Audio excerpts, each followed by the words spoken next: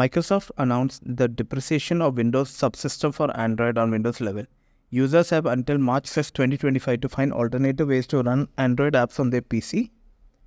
Since the date, all apps that rely on WSA will be no longer supported, but Amazon might have just accelerated the effective cutoff date for Android apps on Windows 11.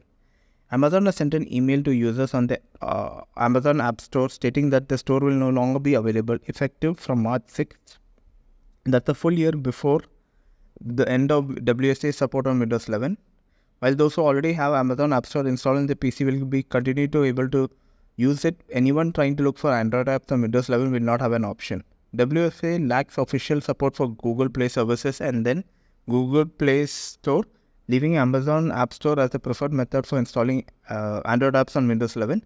It's possible to sideload Android apps on Windows 11, though that may be a wasted opportunity. It will no longer be supported as of March 2025 it is really a very bad thing for people who want to try Android apps on Windows 11.